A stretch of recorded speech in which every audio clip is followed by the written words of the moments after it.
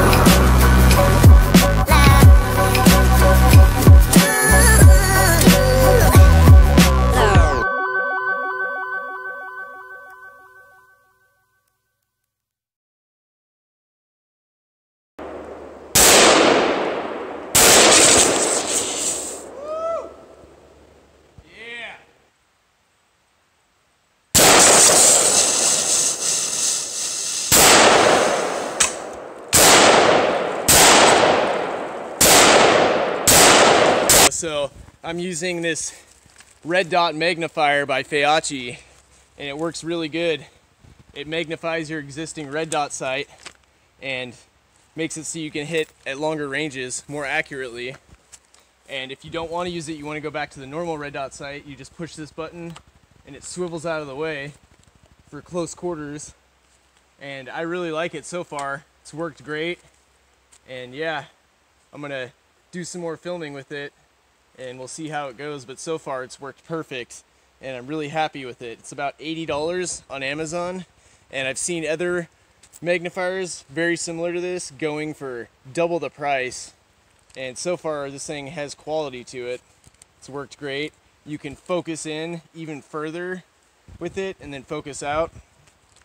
And yeah, I would recommend checking it out. I'm really happy with it so far. All right, guys, now that I got the fire extinguisher out of the way, let's go over this Feyachi red dot magnifier. So it's really cool. You basically get the capabilities of a scope without taking off your red dot sight and then also being able to press this button, swivel it out of the way, and get back to your normal red dot sight for close quarters shots and then swivel it back and then you got long distance. And this knob right here, you can turn it and then it focuses in even further. But it also makes the sight pattern smaller. Or you have to get your face up a little closer to it. I haven't tried magnifying it yet because how far it goes in without turning the dial is pretty sufficient for the distance I'm shooting at. But yeah, it's $80. It's by the company Feyachi, who I get a lot of my accessories on Amazon from. They've been nothing but good to me with their products, and I've been very satisfied with everything I've gotten from them. And yeah, I mean, it's $80. It's a little cheaper because it's made in China, but in my opinion, on all their products, the quality is still there. So it's definitely a gamble worth taking. And if you don't like it, it's from Amazon, so I mean, it's super easy to return it, and then you got your money back. So it's it's a win-win situation, and it's worth trying, and it's going to save you a lot of money in the long run. So what do you got to lose, you know? So uh, I'll do some shooting with this, so you can see it up close. We'll start out just regular, with it swiveled out of the way.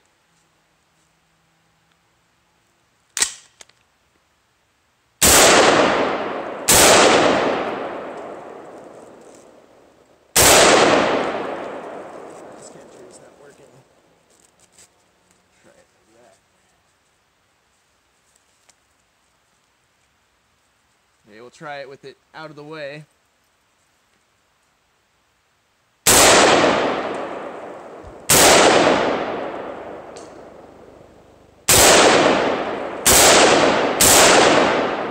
And then you just push the button, swivel it into place, and now you can see way closer than where you would if you didn't have it magnified. And my, this brass catcher is getting in the way. Got a double feed on that.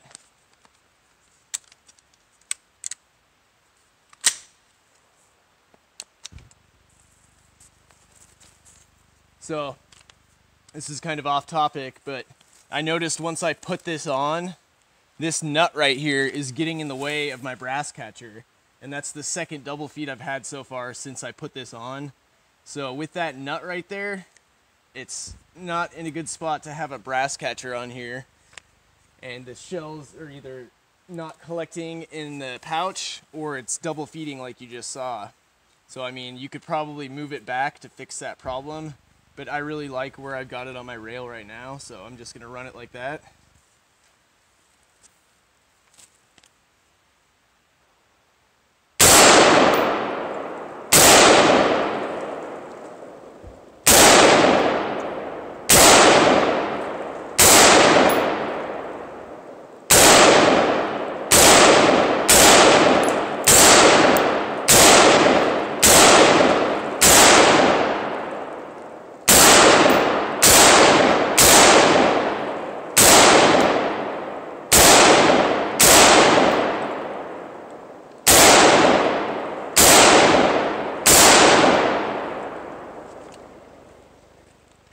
Like I was saying, there's comparable magnifiers from more well-known firearm accessory brands, and they're going for what I saw was at least double the price, about 160 to 200 dollars. This is only 80 bucks, and it's been working great for me today. Had no issues with it. So in my opinion, it's a great deal, and try it out, take advantage of it. Got nothing to lose. So off camera, I more than doubled the distance I was shooting at, and I actually used the magnifier and I turned it, and I hit the gong on my first shot from more than double where the first half of the video was filmed from. So I used my shooting stick, so I'm gonna go ahead and see if I can replicate that shot. Got it. And the hat's getting in the way too. That's that's for sure.